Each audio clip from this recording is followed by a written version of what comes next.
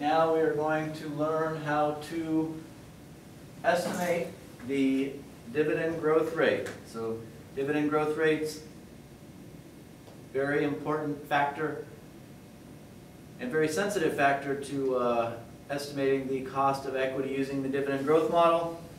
As you'll see in the text and in the notes, the estimate of stock price is very, very sensitive to what the dividend growth rate estimate is. So we have to take great care in estimating that dividend. So uh, we're going to do it for Microsoft. So one way, we go to our Yahoo Finance homepage, we look up Microsoft, and we once again go to historical data. And we click on historical data. And we want to do a few things. Because the stock price is so sensitive to changes in growth rate, we want to do a little bit longer time horizon than what, what we normally do to estimate some of the other statistical properties of a stock. And so we actually want to probably look at a five-year, five-year uh, look at the dividends for the last five years. So we click on five years, click done. And right here where it says historical prices, we can also just download dividends. So now we have the dividends from uh, August 9th, 2014 to August 9th, 2019. And we hit apply. And then we download data.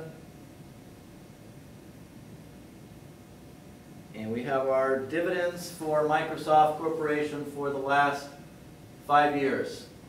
Now there are several ways to estimate the growth rate.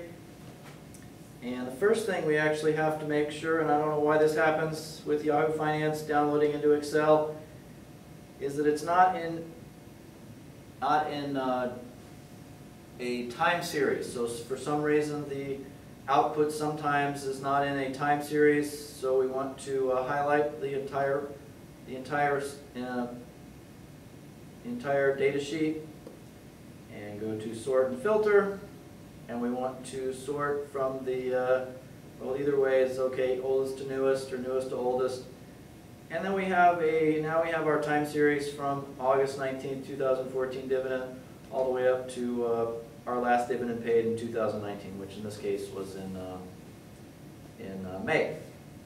Now these are quarterly dividends, so when we're looking for our, using our dividend growth rate, we actually need a yearly dividend.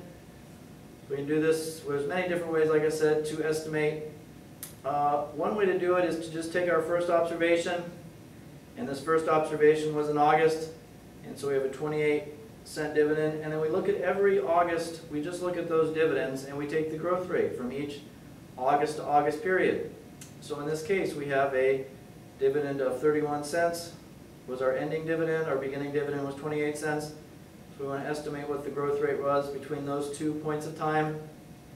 So we have ending minus beginning divided by beginning and we get a growth rate there of, and let's go ahead and change these to all the percentages to make it a little bit, uh, a little bit, uh, and do to two decimal places. So we have a 10% dividend growth rate.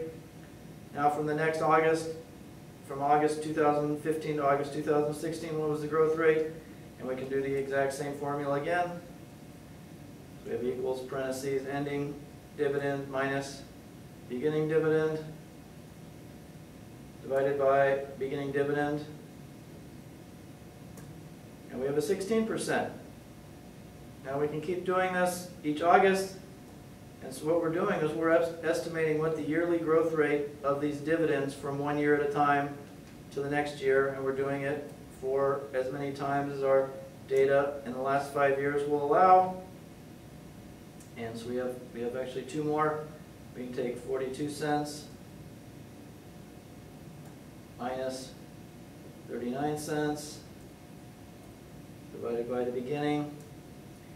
And we have a 7. And then we have here our last observation is 46 cents. Well, the dividend last year per quarter was 42 cents. We do have another growth rate.